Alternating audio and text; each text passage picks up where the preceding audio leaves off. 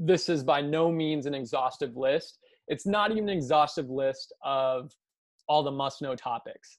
But if I had to give you three things that I think are the most high yield for the bio biochem section, that if you just, you know, if you had to memorize any three things or really deeply learn any three things, it would be these three categories. And we'll, we'll go through them uh, one by one.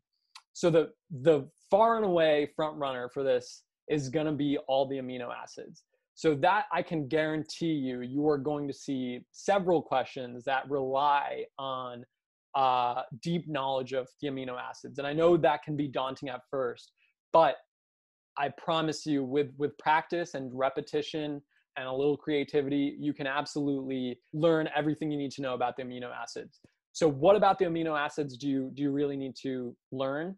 Well, the one letter and three letter abbreviations and the structure are actually a must.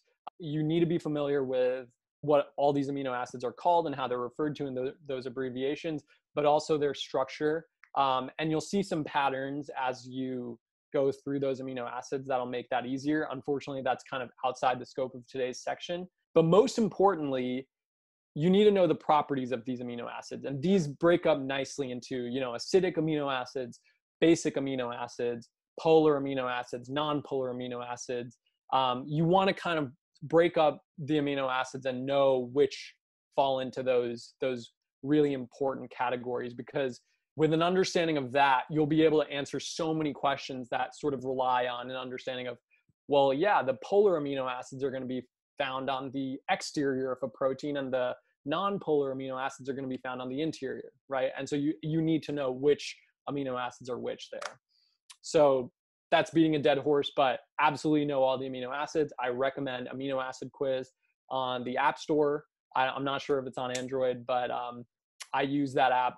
It, it was it was awesome. Uh, makes it kind of like a game to to learn those amino acids.